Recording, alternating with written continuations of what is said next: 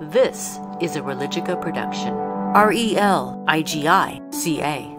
I'm here with Cassandra Lawrence, mediator and community educator, working at Shoulder to Shoulder, addressing anti Muslim discrimination and violence through interreligious engagement, and pursuing an MDiv in public theology at Wesley Theological Seminary. Welcome, Cassandra. Thank you. Well, hi, Megan. So, I know that you've been involved in conflict mediation for a while now. Um, what sparked your interest and, and keeps your passion for this kind of work alive? The short long story, or the long short story of it, is that when I was 18 years old, my church the region of my church had a youth trip to Israel and Palestine. I grew up in California in middle class suburbia. And I went on that trip and we visited the usual holy sites and saw Jerusalem and saw the Dead Sea and saw the Sea of Galilee and did all these lovely, beautiful places. And one of the leaders of that trip was a pastor that was my pastor growing up, who was Jordanian Christian Palestinian. And so, as a part of that trip, we visited some Christian Peacemakers team in Hebron, which is in the West Bank. And when we arrived there, the people that were meeting us came onto the bus and like informed us of like what we would see when we got off the bus, which would be like soldiers standing on rooftops, heavily armed, other people like walking around the community, as well as settlers in groups um, like Jewish settlers in like large groups, also with armed personnel with them.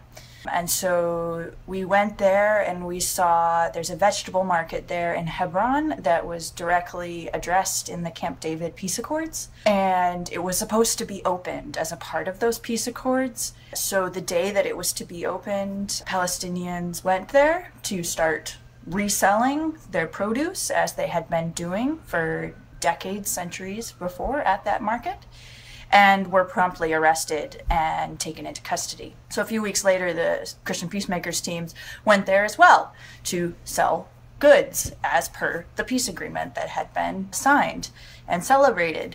And they weren't arrested, but anybody who came to do business with them were harassed or arrested. And so just seeing the closed market there and the fact that this peace agreement that was made uh, with, between all these men in high level positions wasn't being implemented on the ground. It was really like a case study that I hadn't ever seen before. I was 18. I had been out of the country, but had never been to a place that was considered a quote unquote active war, like, or a conflict zone. It's an amazing background story. And what a great calling to have. And I know, in addition to your time in Israel and Palestine, that you also spent time in Uganda and Tanzania. In your time in all of those countries and in different contexts and different people, what have you learned about justice and how it's pursued in different ways or does it mean different things in different places to different people? Mm. Well, I spent about two months in Uganda, in the south of Uganda, um, in, near the Bwindi and impenetrable for rainforest there on the Rwanda um, DRC border. And uh, another month in Gulu, which is in northern Uganda, where the Lord's Resistance Army were quite active and still are to this day. I went there sort of as a as a research as well as just to be a listening person to see like what were people doing on the ground to understand their own everyday experience of these conflicts that get a global platform. And some of the things I feel like I've learned in doing that, as well as in looking and working with peacemakers from around the world now, is that people are incredibly creative and resilient. And we have a drive to find joy and find peace in whatever context we're in. And so we will keep doing that despite whatever conflict is happening around us. So even looking at like people living in refugee camps is that they're still getting married and having children and living lives amongst this incredible tragedy that's around them. And when it comes to pursuing justice, what I feel like I've come away with it is in realizing that for each context, they will see a particular issue that rises to the front that is the both symbolic but also the driver for that community that they've identified as the issue that's standing in the way between them and like a peaceful, prosperous society. And that if we truly believe that local peacemakers are the ones to lead long term, sustained conflict transformation and mediation, like those mediators in Northern Ireland are still doing to today, 20 years after the Good Friday agreements were signed, we must take their lead. We must let them lead, like on deciding what is best for their community and how they understand the conflict. Because one of the things when you study the different drivers of conflict is you see how different communities, the drivers are different. Yeah, absolutely right. And to talk to the people themselves instead of just coming in and be like, hey, you should implement this thing that I brought because I, in my tiny amount of research, suddenly feel like I am the expert. Yeah. Yeah. yeah, yeah.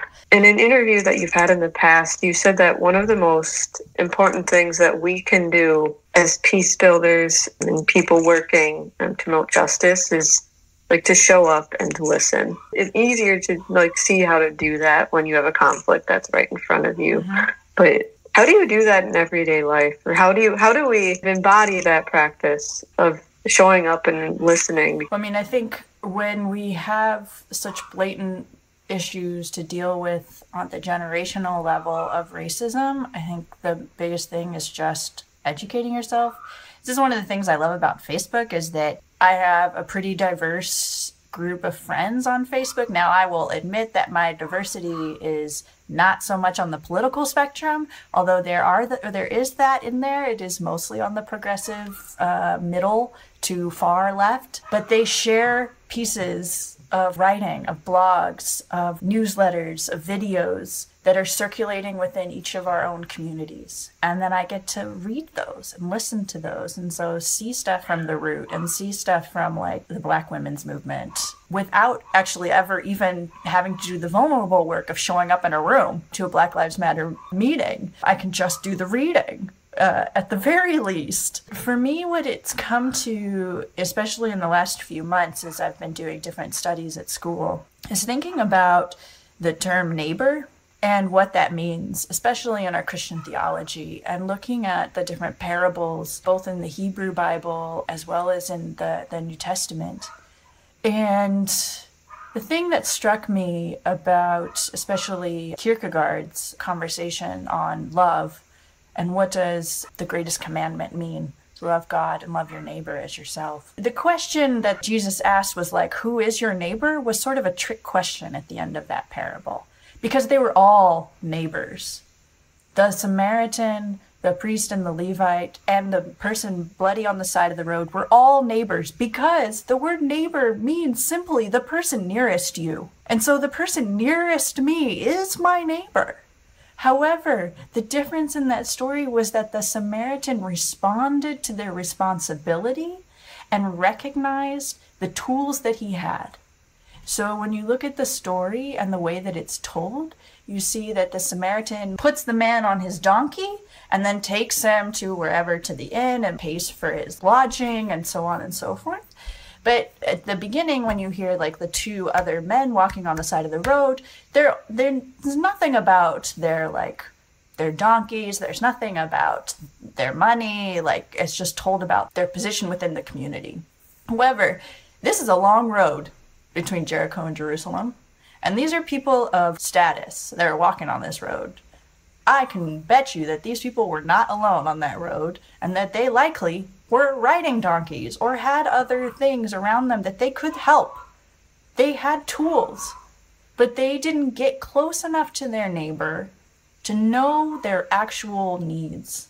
And they were so afraid of being of their plans being changed they didn't want that interruption from God. They didn't want their plans to be interrupted.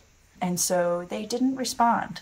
To me, when we're talking about showing up, it's about being close enough to my neighbor to know who they are and to know what their joys are and to know what their concerns are.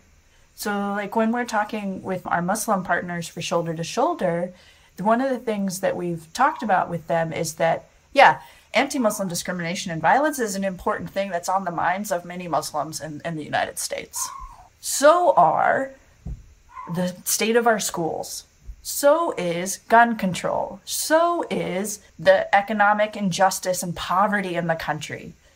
All of these things are important to our Muslim neighbors. And so, in me drawing close to them and being in relationship with them, I see their full humanity. And that is a gift to see them not as just victims of anti-Muslim discrimination and violence, of of a long history of racism and enslavement, of the Holocaust and anti-Semitism, but to see their full humanity and their joy and how they've lived life amidst the pain. And that is a gift for me because then I get to see how that is possible. But it's also a responsibility to me when I realize that I have tools that can be used for whatever causes that we decide are important together. And so for me, it's about addressing anti Muslim discrimination when there's no Muslims in the room and saying, you know what, actually, Muslims, like the ones that I have met, they care about a lot of things.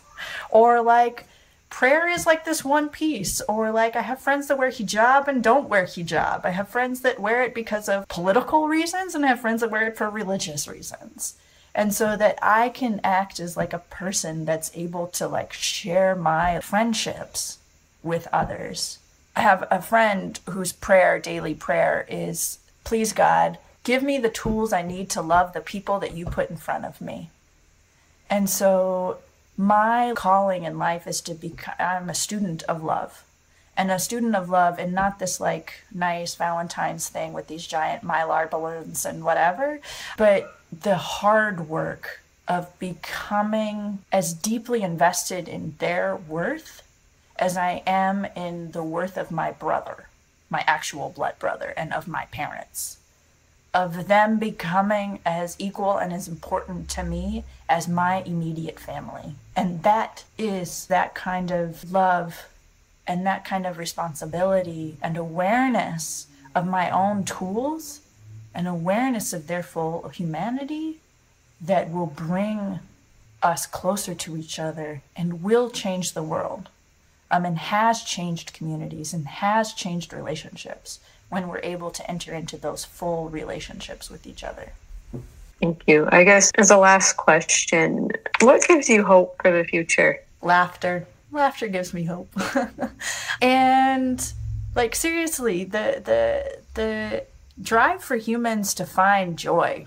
It's both heartbreaking and humbling and hopeful to see kids in like refugee camps who are just playing ball who around them is all of this hardship and they're living through it and they're experiencing that and yet they're still finding place to play. And in the incredible drive of humans to work together and to find a better world and for flourishing for themselves as well as for their neighbors however they define their neighbors.